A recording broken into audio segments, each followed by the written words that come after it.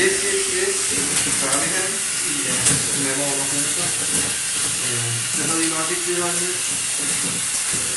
Normalt så har jeg ikke gået i bad med briller på den her. Det er ligesom image. Ja. Hvad skal jeg sige? Det er, jeg håber, I godt kan lide nogle øh, uh, de der videoer her. Jeg synes, der er kommet mange flere. Uh, lad os få en funke like på siden. Og jeg vil gøre flere tåbelige 生に使う聖書を見つけ出すためです。